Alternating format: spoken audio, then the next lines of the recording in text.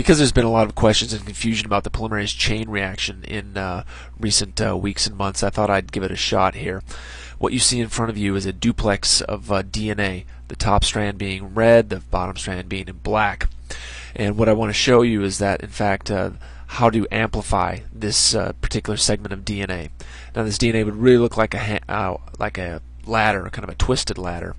And you can see down below here we have little smaller uh, segments of DNA called primers, single-stranded DNA that matches up with the left-hand side of the red top strand and the right-hand side of the uh, bottom black strand. The, what there is, it goes from 5' to 3'. It's directional. Now, in the polymerase chain reaction, PCR, you just crank up the temperature so that you break apart this duplex of DNA melt it apart.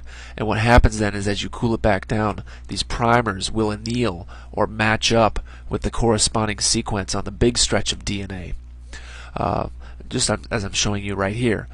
And then what happens is then the DNA polymerase, the enzyme, will come in and fill the gap uh, using uh, nucleotides and uh, deoxynucleotides, as a matter of fact. And so what I show you here in the dotted line is new stretch of DNA that makes one contiguous red strand, or now up above, the new DNA made by the polymerase of one contiguous piece of DNA, the black strand. And now you have two sets of, uh, of very similar, uh, or hopefully exact if it's a very high fidelity polymerase, exact pieces of uh, double-stranded DNA on the top and on the bottom. You start with one, you end up with two. That's each cycle of PCR, and this goes over and over and over again. So you basically double the amount of uh, template if your primers are working properly, as is shown here.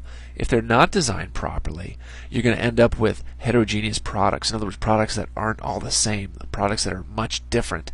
And I'm showing you here where the red primer down below will stick to the middle of the black primer, not where I want it, but that's where it's going to go. And so it gives a much smaller product of double-stranded DNA. On the top strand, my black primer sticks towards the left-hand side of the of, of the red strand of DNA, making again a very small product of DNA. They're not the same. We have a very small, tiny product of double-stranded DNA on the top, and a little bit bigger product of double-stranded DNA on the bottom. But once again, they are not the same. And this is something that you really want to avoid. It's a problem in that if people don't design their primers correctly, you know, stuff happens. That's just the way it is. Here we have two sets of uh, double-stranded DNA now getting melted apart, blasted apart, denatured, if you will, by uh, the heat. We raise that up to about 95 degrees uh, C. And here then, as we cool down, the red primers will come in and anneal or match up to the uh, black strand of DNA, the bottom strand. And again, the black primers will come in and bind or anneal to the red uh, strand of DNA, the top strand. And their polymerase uh, enzyme will come in and fill in the gap, really, uh, utilizing uh, deoxynucleotides.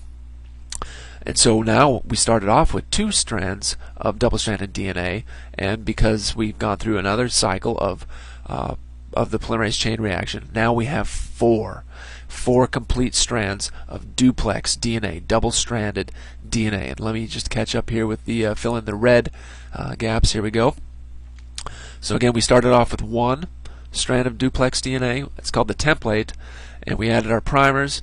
We blew apart the uh, duplex, annealed our primers, and off we ran. We got two strands, uh, two sets of uh, identical uh, DNA, and now uh, we did it again to have four. To do what's called reverse transcription, we start off with an RNA here in blue. Uh, the 5' end is on the left, the 3' end is on the right hand side with a poly A tail.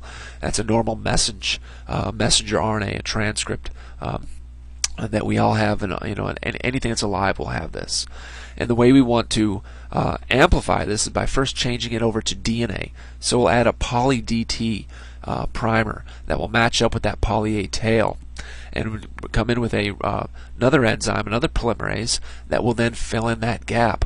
And as I'm showing you right here, then in now in red, uh, make the corresponding DNA to that particular RNA. So now we have a duplex of DNA and RNA. It's called a heteroduplex DNA RNA hybrid. Again, double double-stranded nucleic acid. However, it's a DNA RNA hybrid. You can add another enzyme that will chew up the RNA, keep leaving your uh, single-stranded DNA right there, and now we can go into the PCR again. So now this is called really RT-PCR because we follow the RT, the reverse transcription, with a PCR. And so we're left with double-stranded DNA that corresponds to the individual RNA that we that we started with. And this is really the basis of a lot of the uh, claims of of uh, of uh, measles virus uh, RNA in the gut. How do you detect it? Well, this is exactly how people are claiming they're detected.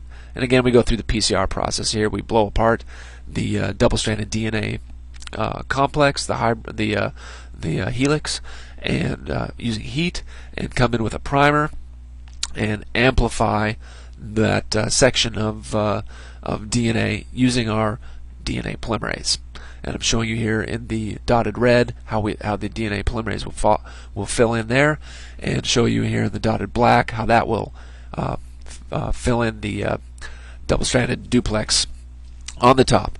Once again, we started off with a single strand of uh, ribonucleic acid RNA, and gone through a couple uh, rounds of uh, or a single round of PCR, and we had two double-strand DNA at the end of it. What happens if our primer doesn't work all that well? What if it doesn't bind where we intend it to bind? What if it doesn't anneal in the correct spot, the design spot? Uh, what if it's sticky and, and uh, binds non-specifically? This is what happens. You get uh, the incorrect product. You get a product. It's just the wrong one. And if you don't know how to differentiate in between the wrong and the right product, then all you know is you have a product. And that really brings us into the next kind of phase of what I want to talk about is how do you actually measure this? Great, you go through this reaction PC, but what happens? How do you how do you know how much DNA that you've got in there? Well, you run it out on a gel, and so this is like consider it like Knox blocks or a Jello, where you uh, here's you have a ladder of DNA starting from big to small, top to bottom, and if you run a big sample, yeah, it'll come out of there. What's that about 800? Uh, call that 800 base pairs long, as an example.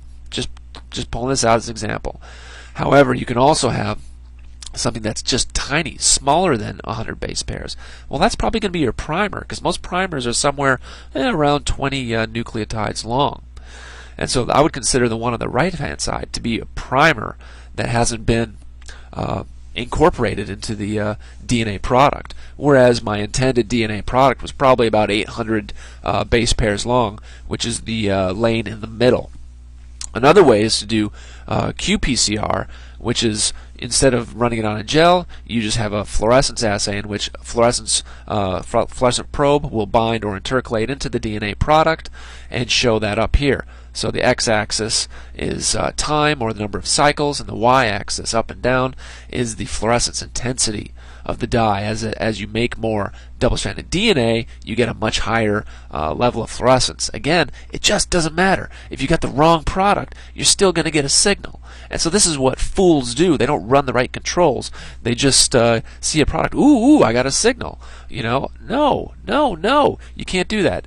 Take your uh, template out and run a negative uh, template control. You know, there's gobs of controls. Design different primers. Do you get the same uh, uh, signal or not? What I'm showing you here in black is what sh it should look like if, in fact, you have no measles virus RNA in your sample at all. You do an RT followed by a PCR. That's what it should look like. You got nothing. However, if you design your primers incorrectly, it's going to look red. You're going to get a big time signal, even if there's none in there at all. And then what happens? How, how can you differentiate a good product versus bad ones? A heterogeneous product versus a nice single product? Well, you perform a melt. You crank up the temperature and look at the fluorescence. If you get a single melting peak, what I'm showing you right here in black, you're good to go. Um, then all you really have to do is, is uh, sequence your amplicon. Your amplicon being the result of the PCR, the double-stranded DNA. What happens if you have multiple products is you get multiple peaks. And so if you don't do this, and that's what I'm showing you here, uh, kind of this saddle looking uh, formation, if you don't do that, you're in trouble. The people who are claiming that they're finding measles all over the place aren't doing these things. And that is not what a good scientist would do. A good scientist runs their controls. Shame on you guys. Go back to school. Chain reaction. Everybody's talking. chain reaction.